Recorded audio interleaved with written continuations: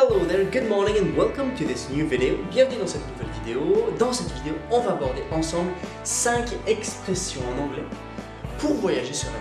Alors, il y a quelques temps, avec femme et deux enfants, on est parti voyager et en fait, je réalise et on a utilisé ces 5 expressions qui ont pu nous permettre de voyager sereinement alors que l'été approche dans quelques semaines. Et ben, je vais pouvoir te les donner pour que tu puisses toi aussi les utiliser et voyager sereinement. Mais avant qu'on démarre, tu vas pouvoir liker cette vidéo, partager cette chaîne YouTube, t'abonner à cette chaîne YouTube et télécharger gratuitement ton kit vidéo complet et gratuit pour reprendre la langue anglaise et la parler. Tu cliques sur le lien qui est en dessous, tu mets ton nom, tu mets ton email et je t'envoie tout ça gratuitement dans ta boîte mail. Alors, ces euh, astuces, ces astuces, ces euh, expressions pour pouvoir parler anglais voyager sereinement, elles sont hyper importantes parce qu'en fait, j'ai réalisé euh, alors que nous on était en, voyage, en vacances il y a quelques temps, eh bah, on a pu euh, euh, se déjouer de certains problèmes, pouvoir être avantagé grâce à l'anglais, suivant ces expressions. Alors, oui, il y a plein d'expressions qui sont importantes. Je vais passer les premières formules de politesse, les, formules de base, parce que ça fait quelques temps, j'espère que tu me suis. Normalement, ça, les hello, les bye-bye, tout ça, c'est vraiment le contact social. Là, on va vraiment parler de voyage serein. Alors, ces cinq expressions, il y en a beaucoup plus, certes. Je vais peut-être faire une suite à cette vidéo. D'ailleurs, tu peux me mettre en commentaire si tu trouves qu'il faudra en mettre d'autres. Mais j'en ai pris 5 parce que nous, on les a vécus personnellement en voyage et je vais te les expliquer. Alors voilà la première.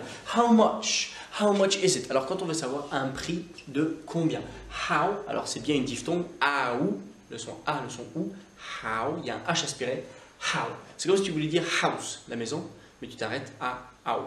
How. How much? How much, c'est-à-dire c'est pour un prix how much ou pour autre chose qui n'est pas comptable.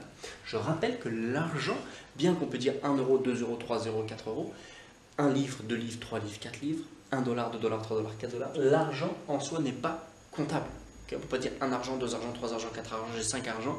On oublie de classifier l'argent par de la monnaie euh, et des pièces. Donc l'argent ce sera how much et pas how many. D'accord How many c'est quand on peut compter. Donc on voit 5 personnes devant nous, on pourra dire how many. Par contre, si on voit 5 argent devant nous, on ne peut pas en fait. Donc on dit how much. Donc on peut s'arrêter à how much, how much, how much, how much, how much, how much, how much. Pour dire combien. Si on veut être plus précis, how much is it? Bien sûr, ça c'est utilisable dans un euh, magasin, c'est utilisable dans un restaurant quand on veut savoir how much, how much. C'est important si on veut savoir pour acheter un, souvenir ou pour ne pas se faire arnaquer. Si jamais on veut savoir avec la TVA, parce que dans certains pays il n'y a pas, on met how much? Taxes included. Ça veut dire que des fois vous payez sans les taxes, donc vous allez avoir 12 livres, 12, euh, peu importe la monnaie, hein, vous pouvez aller dans le monde, et, et, avec les taxes ce sera 15. Donc en fait vous pouvez demander how much tax included. Okay? Euh, ensuite, could I have the bill, please? The bill, could I have, très euh, poli, pour poser une question, on ne prononce pas le L. I, pareil, on a une diphtongue, donc deux lettres, mais c'est I. Could I have the TH vocalique the, the bill? The bill.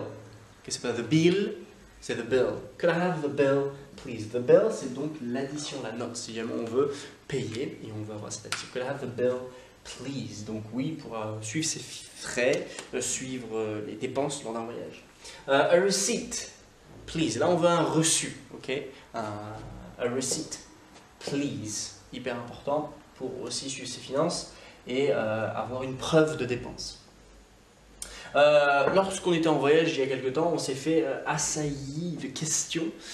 oui, venez, piège à touristes, hein, les attrapes touristes. notre réponse était No thanks, I'm fine. No thanks, I'm fine. Ah, vous No thanks, I'm fine. No thanks, I'm fine. No thanks, ou on peut faire no thanks, we are good. No thanks, we're good. No thanks, we're good. Les gens veulent vous attraper dans un no thanks, I'm fine. No thanks.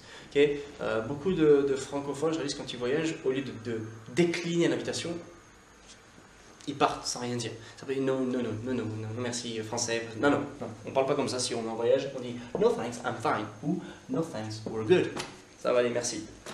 Euh, dernièrement, si vous avez un problème, nous on l'a pas utilisé, mais je sais que c'est euh, important. Si vous avez un problème pour être pris au sérieux, we need help with. Si jamais vous avez un problème avec votre salle de bain, we need help with the bathroom. Si jamais vous êtes dans un hôtel, vous avez un problème avec le repas, we need help with the food. Ok? Tu peux aussi utiliser We have a problem. Hein, Dis-toi que quand tu es en voyage, si jamais tu es dans un hôtel ou quoi que ce soit, tu es dans un endroit et tu veux aller rapporter des informations à des gens qui sont censés prendre soin de ou quoi que ce soit, et ben, il y a des mots-clés, help, problem, des mots-clés qui vont dire Ah, je dois remplir mon job. On dit We have a problem, we need help. Les gens vont forcément avoir une oreille attentive. Et c'est ces mots-là, help, problem, qui, ont du, euh, qui sont porteurs de sens. ok? Je rappelle que le have, have, how, hyper important de faire ce H aspiré. Oui, oui, c'est un i long, i. We have a problem. We need le long, le long, we need help. Là, c'est le ha, c'est un e. We need help with.